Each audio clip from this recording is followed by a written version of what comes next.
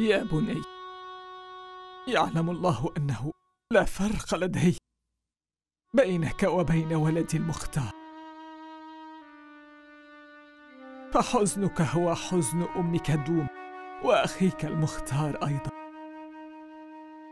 ما جئت لكي أمنعك من العزاء والتألم فأنا أعلم أن جرح الزوجة والولد جرح مغض ومؤلم.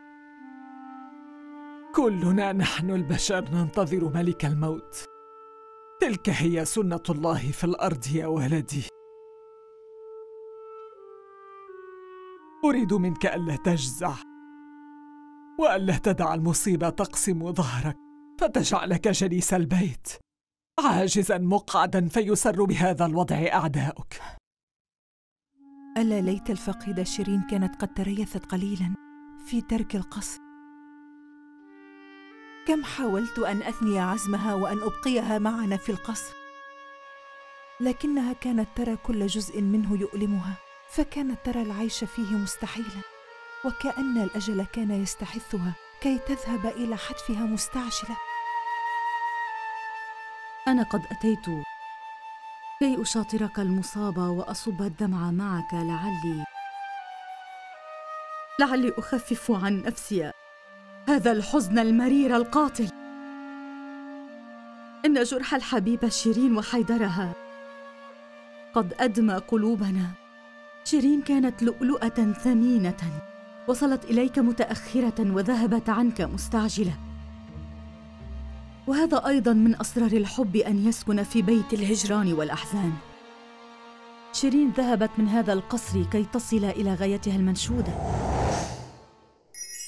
يا جلالة الملكة الفارسية احزمي أمتعتك لنذهب كي نعيش حياة القصور على رغم آناف الأشرافية المتحجرة التي كانت تحتقرنا من اليوم نحن سكان قصر الكوفة يعني ماذا؟ يعني من الآن إلى أجل غير مسمى على جميع رجال القيام هم وعوائلهم أن يسكنوا قصر الكوفة هذا أمر من الأمير المختار ما هذا الكلام يا كيان؟ أحقا أنت مسرور؟ صدقيني يا سيدة شيرين كم أود أن أصرخ وأنادي ليسمعني أولئك الذين كانوا ينظرون إلينا بعين الموالي والخدم. وأنت تعلمين كيف كانوا يحتقروننا. اليوم جاء دورنا كي نصول ونجوم لماذا أنت مقطبة يا شيرين؟ كيان كلما تكلمت عن حقدك على الذين كانوا يحتقرونك تخيفني. أنت من شيعة الإمام علي. ومحب الإمام علي لا يتحدث عن التعصب القومي والعرقي. أعرف هذا يا شيرين إنه خارج عن إرادتي. إن السنين التي عانينا فيها ما عانينا من الذل والهوان تدفعني إلى أن أعبر عن فرحي كالأطفال وأن أفخر بنفسي فقد ولى زمن الأسر إلى غير رجعة. وجاء زمن السيادة والحرية. انهضي. لنذهب إلى بيتنا الجديد. كثيرات من النساء يتمنين أن يسكن القصور. لكنني وقد لا تصدق. لا أرغب في أن أبدل بيتنا هذا الذي تغمره السعادة بالقصر. ما لنا نحن وعيش القصور؟ اسمعيني. للضرورة أحكام يا شيرين. ضرورة القيام تلزمنا العيش في القصر. أي ضرورة هذه؟ تدعون أن قيامكم يتسم بصفات حكم الإمام علي هل كان يعيش في القصور؟ ما هذه المغالطة يا شيرين؟ من قال إننا نريد أن نعيش في القصر إلى الأبد؟ أعداء القيام قد قطعوا العزم وأخذوا على عاتقهم القضاء عليه وبذهاب إبراهيم بالجيش لم تبقى لنا قوة في الكوفة وجواسيسنا أخبرونا أن الذئاب أمثال الشمر والشبث عازمون على مهاجمة بيوت رجال القيام بهدف أن يأخذوا عيالهم رهائن. كي يخضعوا القيام للتسليم. عقدت معك عهد الحب والوفاء. وأقسم بالله لو طلبت روحي لضحيتها. وليت المختار قد اختار حلا للخلاص من الأعداء غير هذا. أنا أفضل النار على هذا القصر.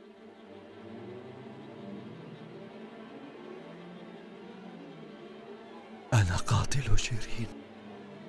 أنا قاتل شيرين.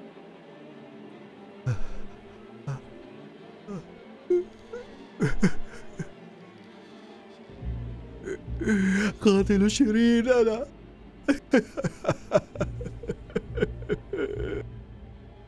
أنا قاتل حيدرتي أعوذ بالله المسكين أصبح مختل العقل. ما هذا الهراء يا نارية؟ هل هذا إشفاق منك عليه؟ أنا لم أقل شيئا جزافا. ترين بأم عينك. إن المسكين قد جن. أحقادي هي التي قتلت شيرين وحيدرتي لماذا كنت مصرا على قتل حرملة؟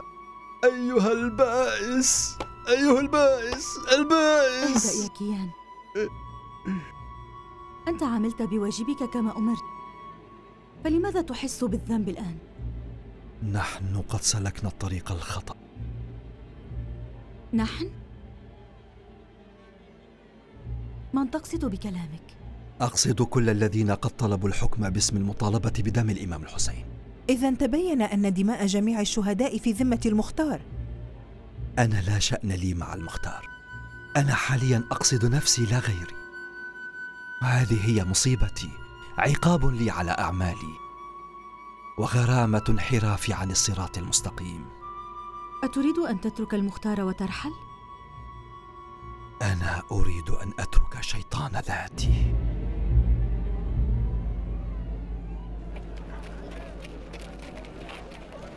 نبأ استقالة كيان سوف يقسم ظهر المختار.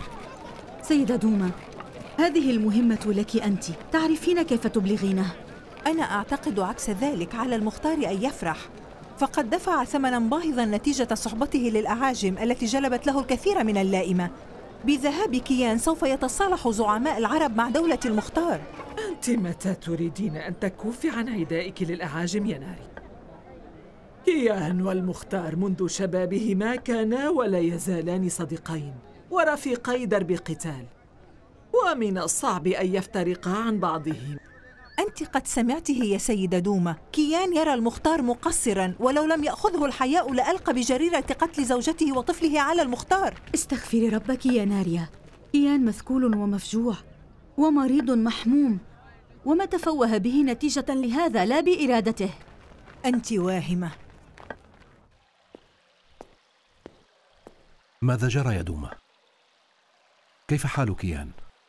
فاجعة كيان مهولة ولا تتوقع أن يتخلص منها في القريب العاجل. كيان ليس طفلا يا دوما لقد أمضى عمرا في الجهاد وذاق مرارة الحياة وحلاوتها ومن أحس بمصائب عاشوراء قادر على تحمل هذه المصائب. يحتاج إلى وقت. علينا أن نصبر عليه قليلا يا ولدي لكي تخف وطأة المصيبة عليه. مختار إن كيانك العزيز قد استقال ولن يستمر في مساعدتك. لماذا؟ كيف يفجع؟ بزوجته وطفله والمختار لم يصب بذلك. أي حكم هذا الذي تصدرينه يا امرأة؟ كلام الحق مر يا مختار. ما الداعي كي يدير كيان لك ظهر المجن ويستقيل؟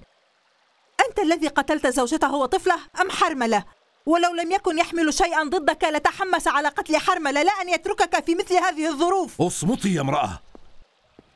لسانك اللاذع هذا لم يكف عن لسع كيان المسكين. حتى متى تريدين أن تواصلي عداءك الأعمى لكيان؟ إن جفاء كيان لنا اليوم ما هو إلا نتيجة حقدك الدفين المتواصل. ما الذي يرغم كيان على البقاء في ركاب المختار ما دام يتعرض للإهانة والتحقير من أهل بيت المختار؟ مختار لن أغفر لك يوم الجزاء أبدا. هل سمعت يا عمرة؟ منذ صار ملكا أصبح عدوانيا وعنيفا. أشك أن يكون في قلبك ذرة من الشفقة والعطف على زوجتك وأطفالك. أبوك وأخوك قد سحقتهما فيلة أهل فارس وأنت لم ينبض لك عرق بل أصبحت هائما بمحبتهم. أنت قد قدمت إلى الأعاجم الكثير. فلماذا لم تقدم التاج والعرش لكيان وسترى كيف يفرح وينسى جرح زوجته وولده؟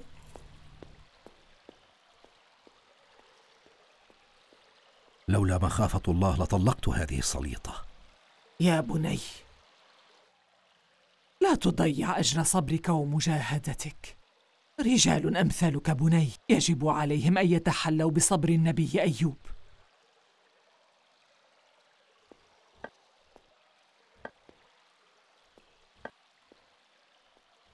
قولي شيئا يا عمرة. هل من أمل بنجاة كيان؟ مختار. كيان يرى نفسه أنه فشل في منافستك. منافستي أنا؟ أجل. منافستك أنت.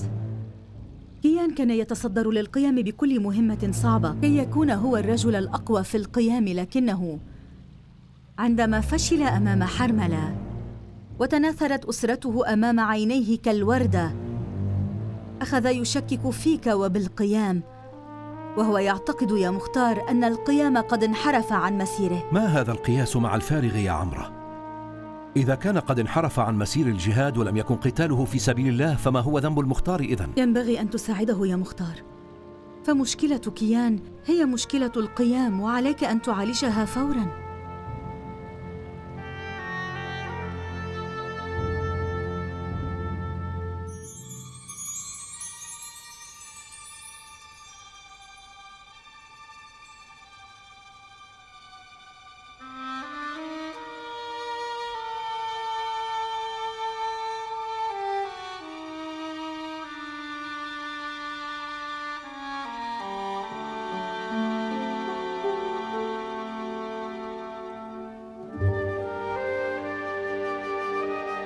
أهلا وسهلا يا أمير.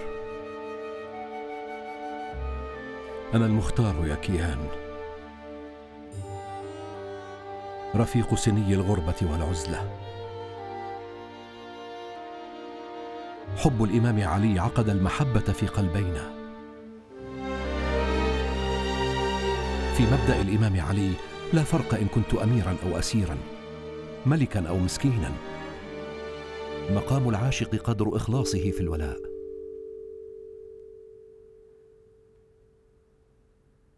كنت حزينا فجئتك يا أخي. أهلا بك يا مختار.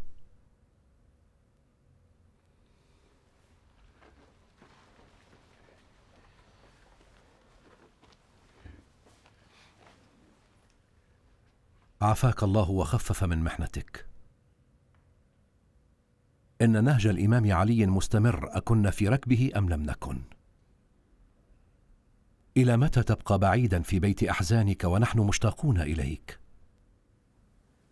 لا أعلم يا مختار.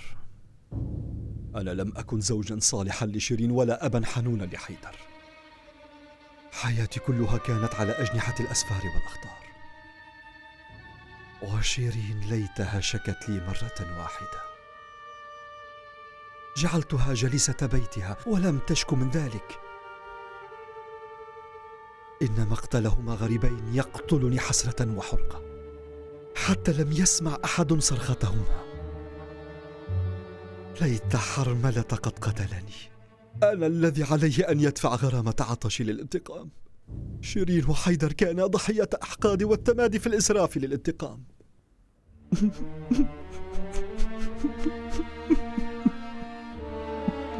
التشكيك في حقانيه الهدف أمر جيد. ما لم ينتهي بالكفر يا أخي.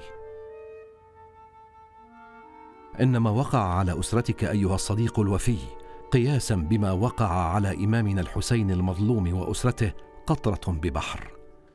في هذا الطريق يا كيان من كان أكثر قربا كان أكثر ابتلاء ومن كان أعلى كان أوفى تهشما. أقسم بالله إذا كنت في حياتي قد أحسست بالغبطة من أحد هي الآن إذ أن كيان مصاب بأهل بيته والمختار لم يصب. أنت اليوم أقربنا إلى الإمام الحسين الشهيد المظلوم. فكيف يطاوعك قلبك؟ أن تلوي عن طريقك الذي آمنت به وضحيت من أجله أيها البطل.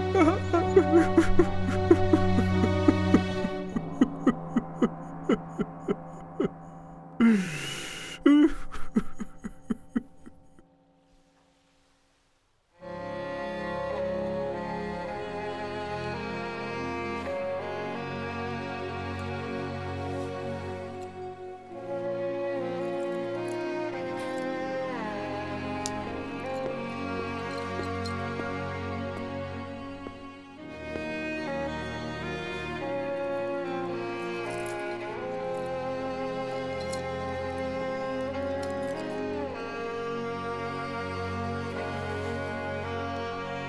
أنت تبكين؟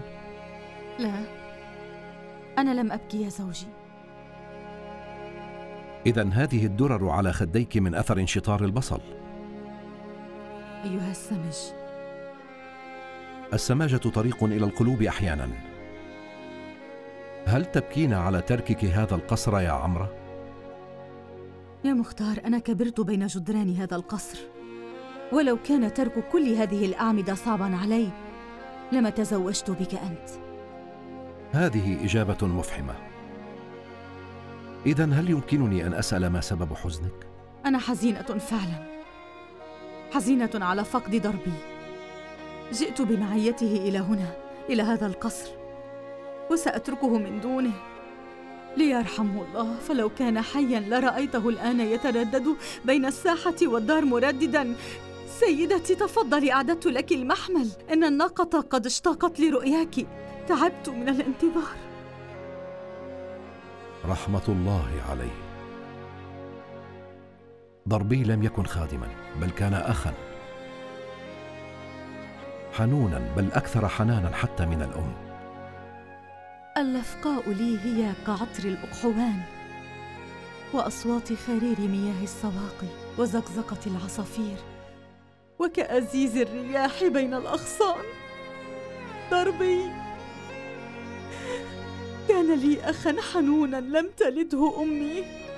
كان لي ظلا أستظل به من شمس الأفقاء ولم أكن أبرح من الصياح به وإلقاء اللوم عليه وهو لا يتأفف. لم أرى يوما منه تذمرا أو امتعاضا.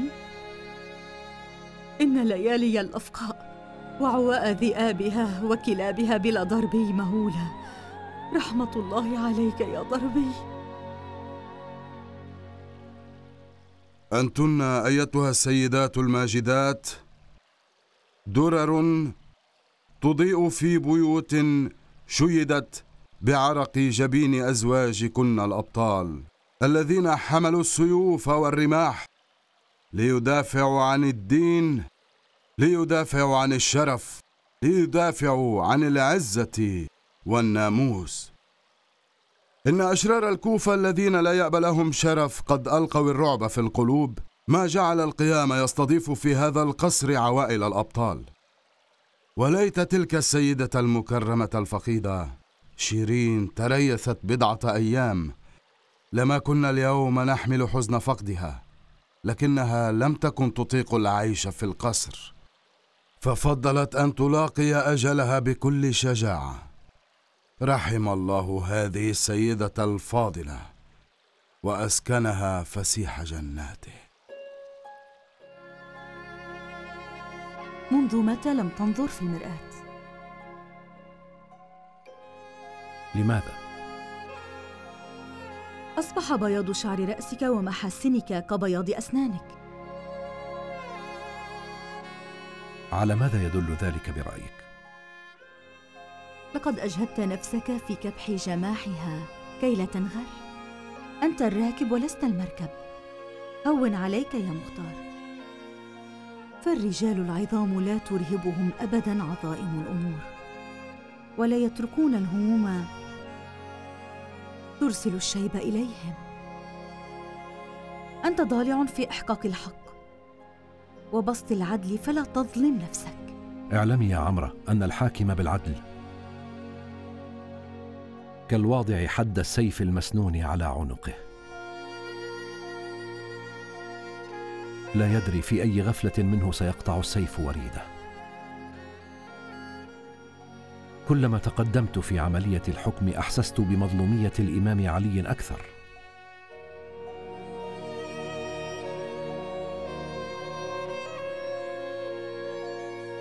أقل آثار الشعور بحزن الإمام علي.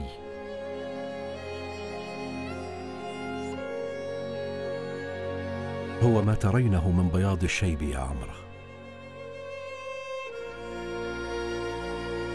الآن وقد زال خطر الأشرار بلطف الله سبحانه وتعالى وتحقق الأمن والأمان فالأفضل أن ترجعن إلى بيوتكن المليئة بالصفاء والسعادة. كي تمسحن غبار الزمن لتعود الحياة إليها بما فيها زهور حدائقها وزقزقة طيورها وعصافيرها ودواجنها. اذهبن واجعلن الحب يملأ بيوتكن. الأمير المختار كان قد أراد أن يحضر ليطلب منكن العودة إلى بيوتكن. فكلفت بأن أطلب منكن ذلك بما أنه منشغل. والله سبحانه يعلم بأن لا أحد منا قد خطى خطوة أو سل سيفا من أجل الوصول إلى غنائم القيام. ولو لم نكن مرغمين لما كنا سكن في هذا القصر لحظة واحدة فهذا القصر لا يتلائم مع مبادئ دولتنا العادلة بل يسيء إليها. في أمان الله. مرحبا يا عبد الرحمن. شكرا لأنك رفعت عني هذه المسؤولية فخففت بعض الهم.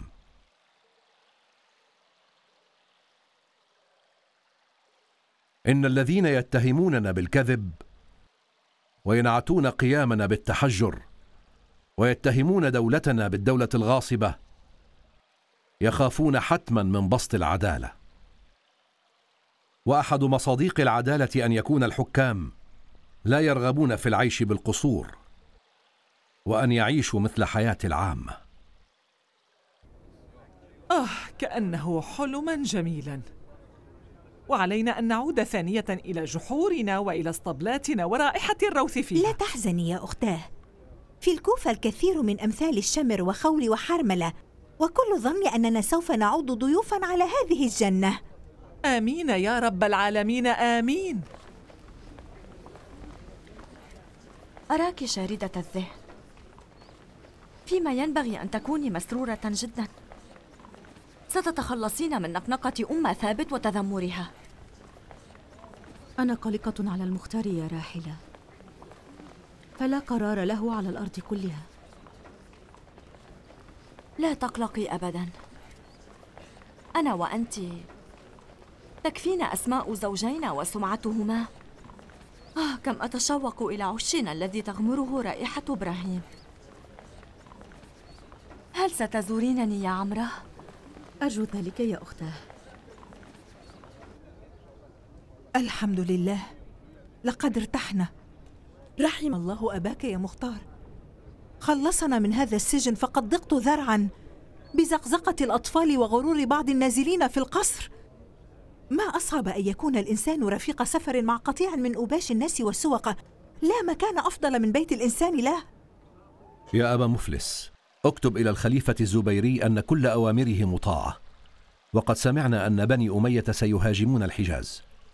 ولأن الدفاع عن بيت الله الحرام واجب على كل مسلم فنحن نعلن استعدادنا لأي مساعدة يحتاج إليها الخليفة وأن جيش الله جاهز للجهاد. سمعا وطاعة.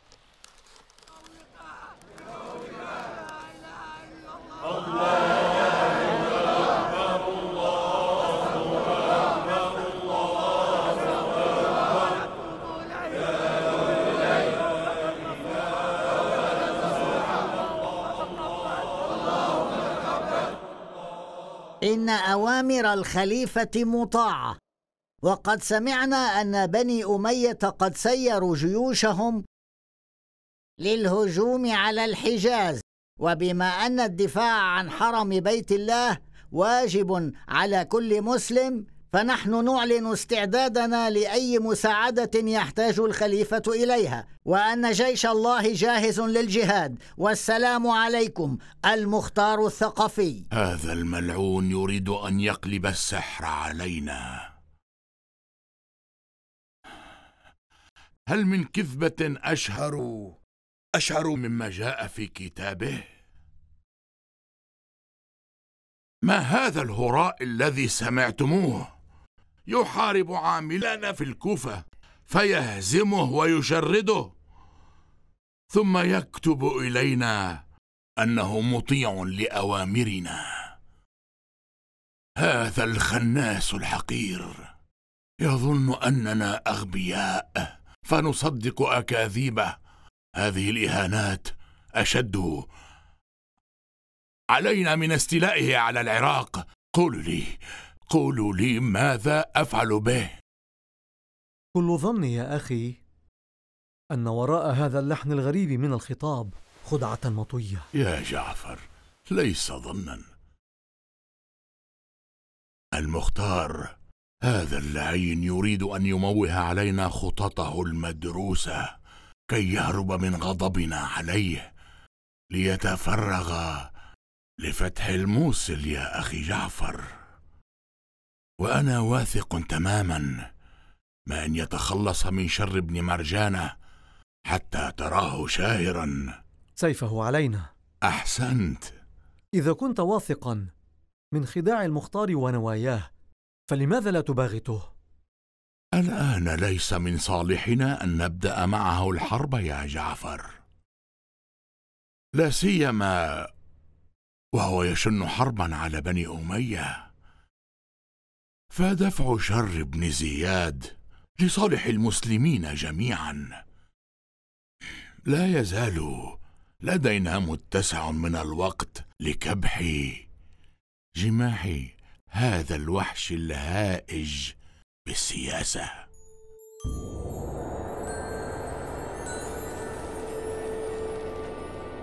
خذ أيها المخزوني.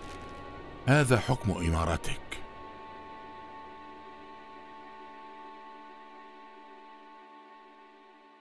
وهذا مبلغ ثلاثين ألف دينار مسكوك. مبلغ لا يستهان به. بهذا المال يمكن تذهيب نصف الكعبة الذي كان من آمالنا ولكن وأسفاه لأن استعادة الكوفة أوجب من تذهيب الكعبة فعلا. إذا كان المختار يدعي أنه طوع إرادتنا إذا عليه أن يسلم لك الكوفة. وإذا لم يسلمها حسنا جهز بهذا الذهب جيشا وخلصنا من شره. انظر انظر إليها كيف تتلألأ. بهذا الذهب يمكن أن تغشي عين العالم. هل هذا ممكن في رأيكم؟ أي كائن أنت يا رجل؟ اضرب بهذا الذهب الهدف. فإن أخطأت الإصابة فالوي عنان مركبك نحو البصرة. جعفر.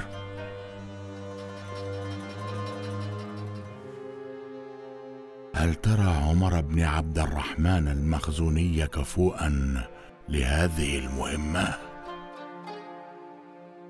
فهو لما يخطو خطوة حتى طار طائره. عفوا يا أخي. المهمة ليست لقمة سائغة. من حقه الطبيعي أن يتلعثم. أنا سأقوم بإعداده. أجل. قلبي يذوب على هذه المسكوكات يا أخي. أخشى أن تضيع هباء. وعلى كل حال أنا واثق كل الثقة من اختيارك يا جعفر.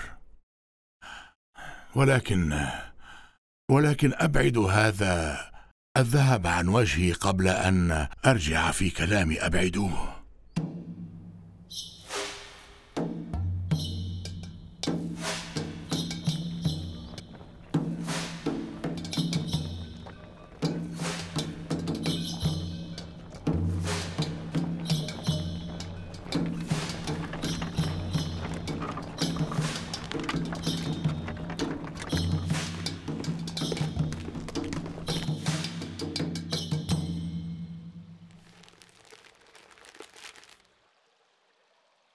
وهذا هو ثمن الوالي الجديد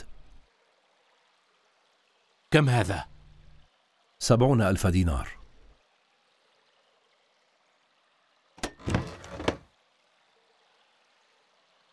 أوه.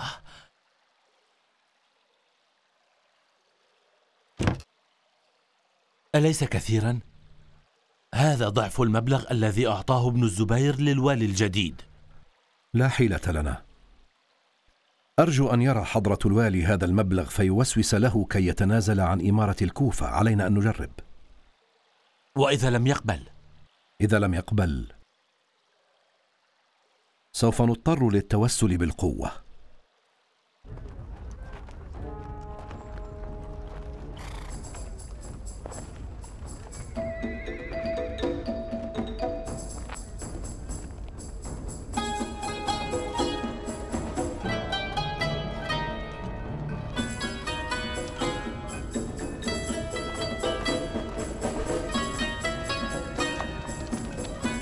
قد يكون قاصدا من قبل المختار. جملان وفارس واحد. أستبعد أن يكون قاصد المختار. لماذا تستبعد ذلك؟ المختار إذا كان متمردا ولا يريد تسليم الكوفة فقاصد واحد يكفي لإخبارنا. وإذا كان نازلا على أمر الخليفة عازما على تسليمنا الكوفة فكان عليه أن يستقبلنا بركب كبير لائق. وهذه القافلة لا تدل على هذا.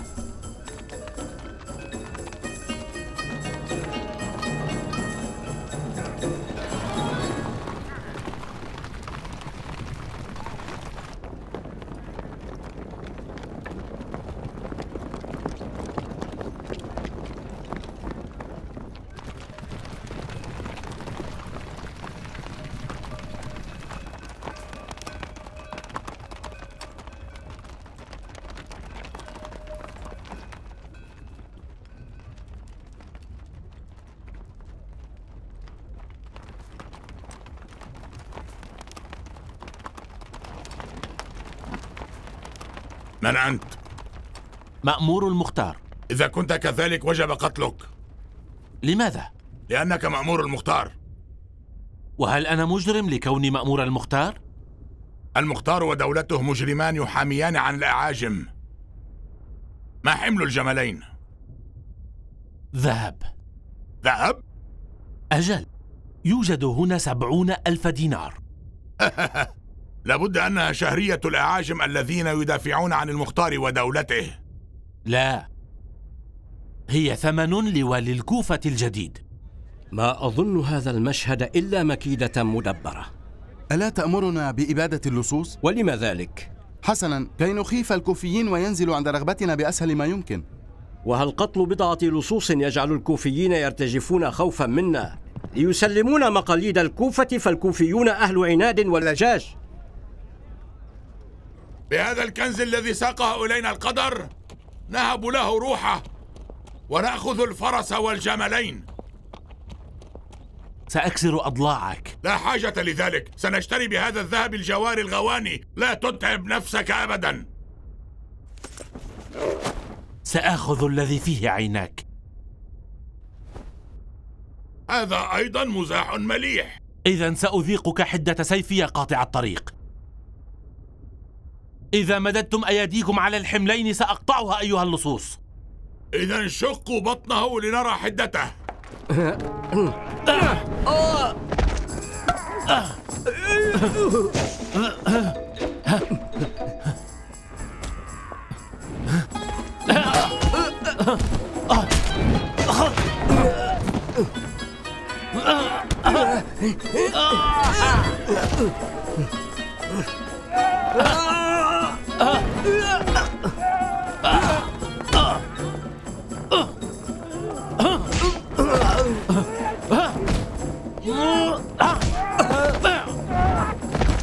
من هذا؟ هذا أعجوبة ماذا يفعل؟ هذه المعركة أمام أعيننا فيها حكمة أجل هل قلت حكمة؟ كل ظني أن المختار لن يسلم لنا الكوفة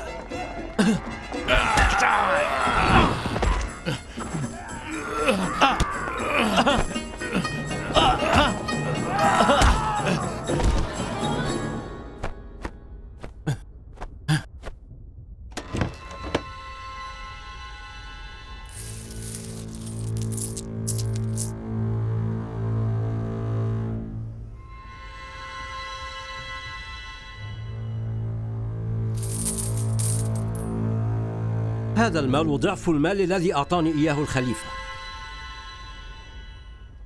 لكنني لست مجنونا كي أبيع عرش حكومة الكوفة بسبعين ألف دينار. أنت مخير. يمكنك ألا تبيع. إن لم أبع ماذا تفعل؟ أنا مأمور ومعذور. إن لم تبع فستحارب المختار. وإن شئت فألق نظرة على سواد جيشه. الذي أقل مقاتليه هو هذا المسكين الذي أمامك ألم أقل إن وراء هذه المعركة المفتعلة حكمة؟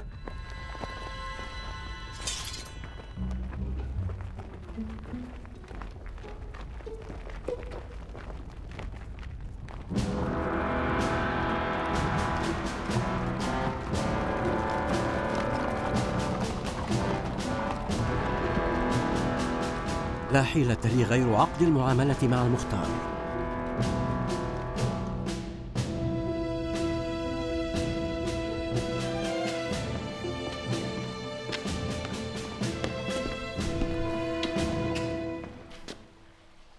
ما وراءك يا عصام؟ أنا ابن عمك زائدة. لا أحمل لك غير الخير. خصمك تمانع وتشدق. لكنه ما إن رأى سواد الجيش حتى زاغ بصره وانحنى ظهره. هذا آخر ما كان في جعبتنا. فإن أحس ابن الزبير بخطتنا ستسوء الظروف بيننا وبين الزبيريين. سيعلم آل الزبير عاجلا أم آجلا؟ كل ما أرجوه أن يتخلص إبراهيم من أمر ابن زياد قبل أن يعلم ابن الزبير بالأمر. ليتك أنفقت السبعين ألف دينار على جيش إبراهيم لكنت قد عجلت بالخلاص من ابن زياد أيها الأمير. إبراهيم ليس بحاجة إلى الدنانير بل إلى الزمن.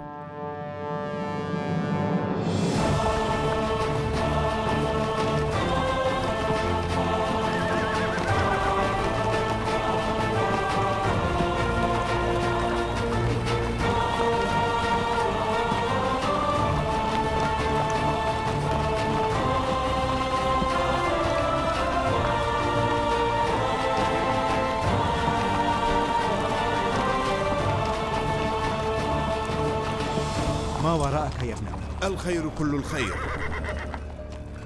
ما إن رأى حاكم نصيبين كتابك حتى قبله ووضعه على عينيه.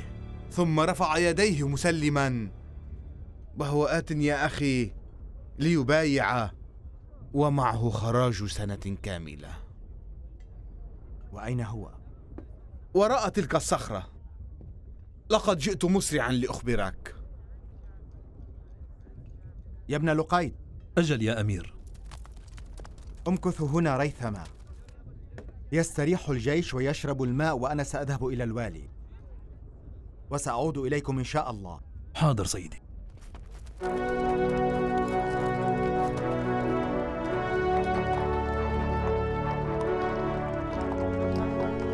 أراك مسرورا يا أخي.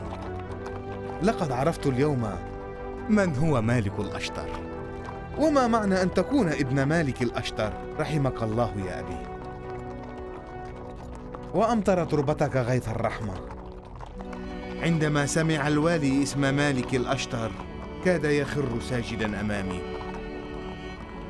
ميراث مالك هو ماء وجه مالك وماء وجهه هو حب الإمام علي. ادعو الله لنا أن نحفظ ماء وجه أبينا السلام عليكم ورحمة الله وبركاته. وعليكم السلام. أهلا وسهلا. مرحى لهذا التواضع والخضوع. إنه لمن دواعي الفخر والسرور أن تستضيفكم أرضنا. أهلا بك. في ديارك يا ابن مالك الأشتر. والدكم رحمه الله كان فخر الأمة وذخرها. فأين هو؟ من الذي كانت الشمس تخر له؟ تواضعا. وهذه هدية متواضعة. قام بتقديمها أهل نصيبين خراجا للسنة القادمة. وقد كانت تقدم لحاكم الشام الغاصب. أرجو من حضرتكم أن تتقبلوها بفضلكم. شكر الله لكم سعيك وأيدكم.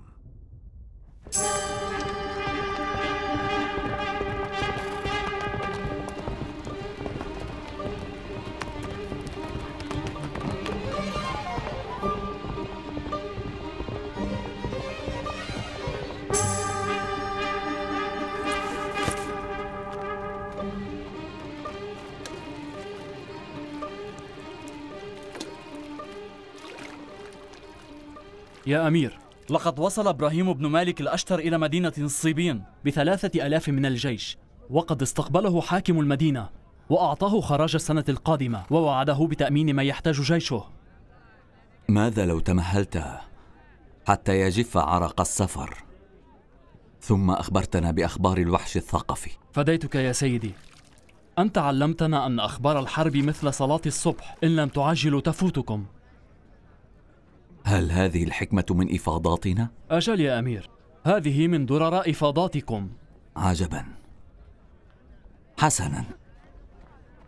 أخبر قادة الجيش ورؤوس القبائل بأن يحضروا للشور وتناول الطعام. حاضر يا أمير.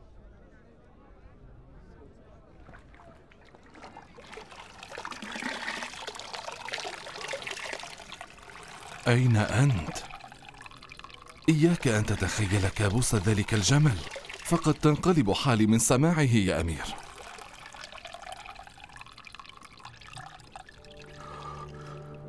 لا ينفك كابوس ابن الأشتر. يلاحقني ويسيطر على أفكاري. إن المختار الوحش الهائج سرق النوم من عيني. منذ ذلك اليوم المشؤوم الذي أمرني فيه يزيد بأن أطلق سراحه من ذلك السجن. كنت أعلم أنني سأدفع غرامة ذلك الخطأ يوما ما. والآن ابن الأشتر جاء وزاد الطين بله مجرد سماع اسمه يجعلني أرتعد خوفا. إذا كان ابن الأشتر قد كسب كل هذه الشهرة من اسم أبيه الأشتر. فابن زياد أيضا ليس بالقليل يا سيدي الأمير. لقد شاهدت منك أياما كان على عمرو بن العاص أن يأخذ دروسا في السياسة من ابن زياد.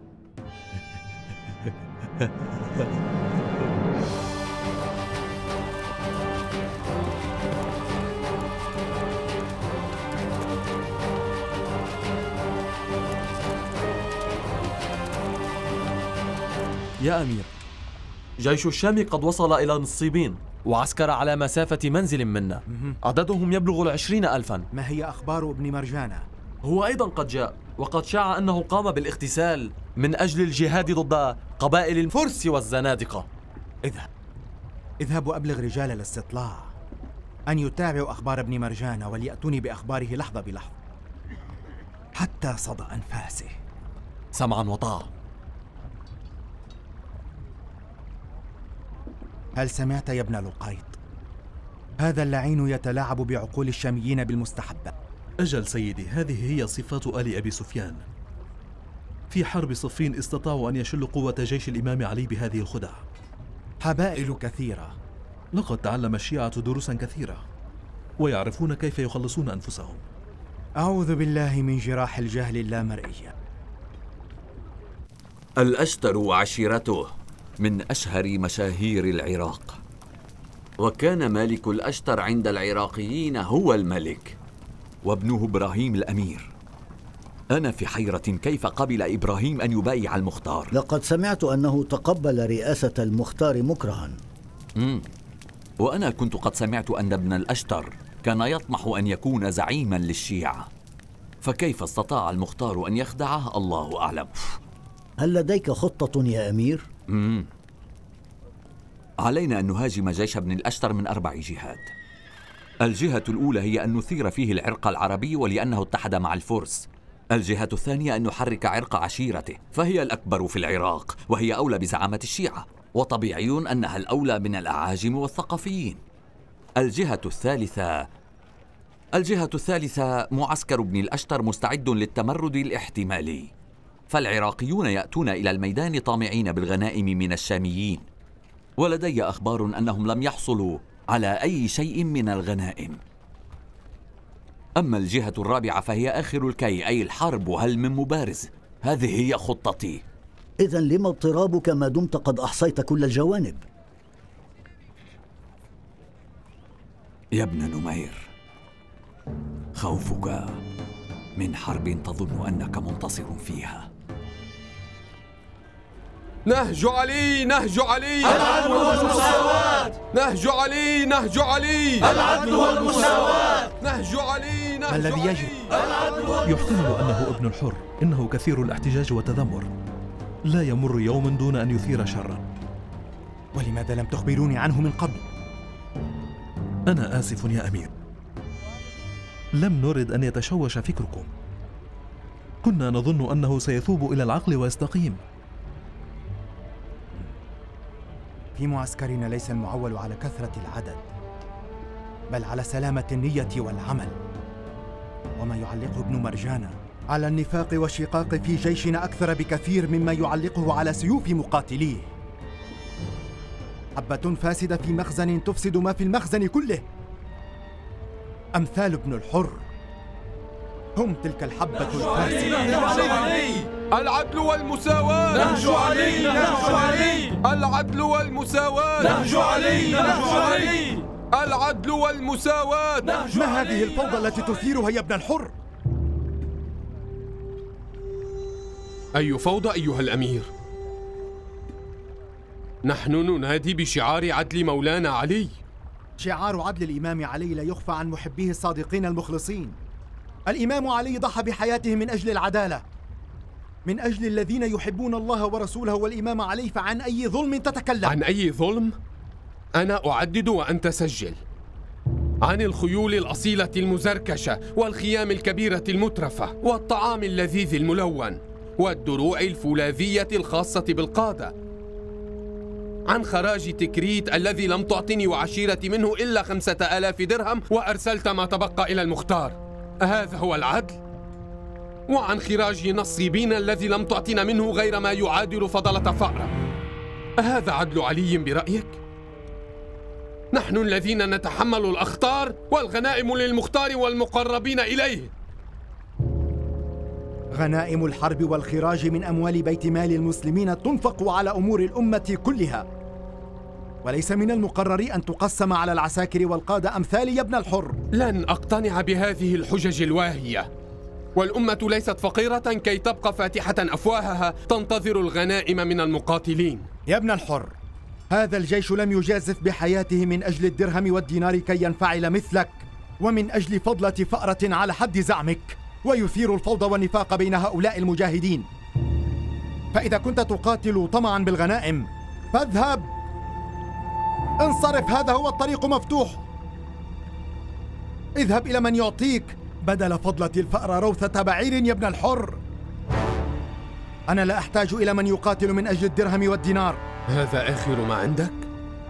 هذا أول وآخر ما عندي.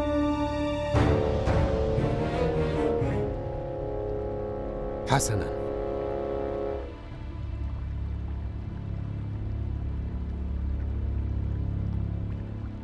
يا رجال من منكم يتحمل كل هذا الذل؟ فهذه مشكلته. فليبقى أصم وأبكم أيضا. يا ابن الأشتر. أنا وعشيرتي تاركوك كي لا تظن أننا بلهاء. نذهب لنستعيد حقنا من أميركم.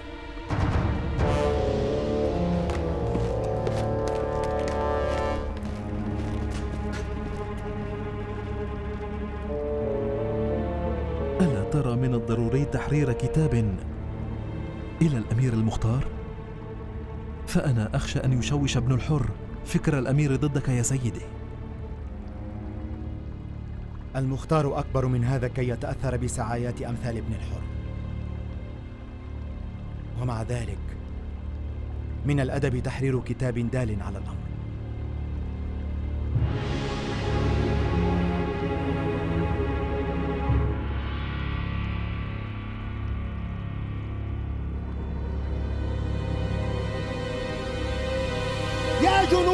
الله الأحباء أنا قد عرفت من لعبة ابن الحر اليوم مدى وحشة عدونا وخوفه منكم. فالعدو الغدار يريد أن يعالج هذا الرعب بإلقاء التفرقة ما بيننا. فاسمعوا مني وعوا. في هذه الظروف الحرجة كل ما ترونه وتسمعونه هو من بوادر الفتنة. ما هو إلا من حيل العدو وألاعيبه. اليوم بحجة الغنائم. وغدا بذريعة الأعاجم والعرب. ولهذا وذاك أوصيكم بأن تتذكروا جيدا. وتمرروا الأحداث المؤلمة التي أوجدها الخداع في صفوفنا. في حرب صفين الكبيرة. لذا نحن جئنا نبحث عن بلسم لجراحنا.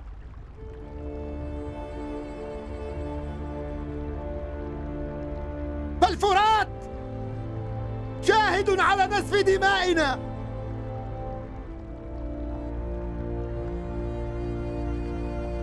فنحن قمنا من أجل القصاص لدم إمامنا الحسين الشهيد! يا الحسين يا الحسين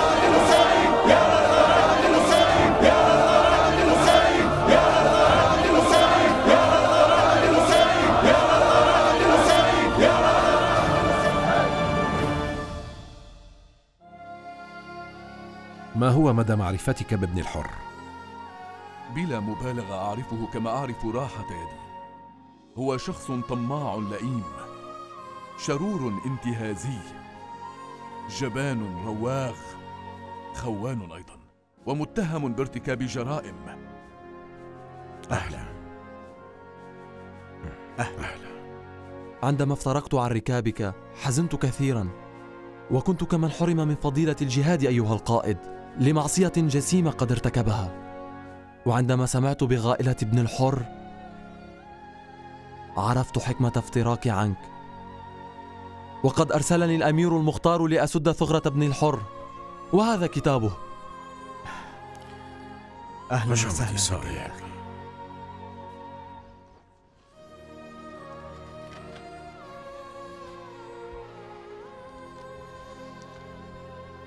أحضرتكم كي تستلموا غنائم الفتح. هذه أحكام إماراتكم على العراق. كونوا أقوياء واستعيدوا مناصبكم التي استولى عليها الأعداء.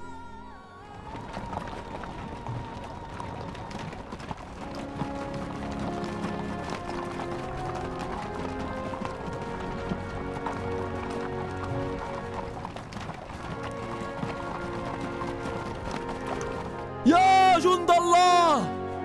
اركبوا على أجنحة الملائكة! حتى إذا رأتكم خيول الأعداء جمحت وألقت بفرسانها على الأرض! يا لثارات الحسين! يا لثارات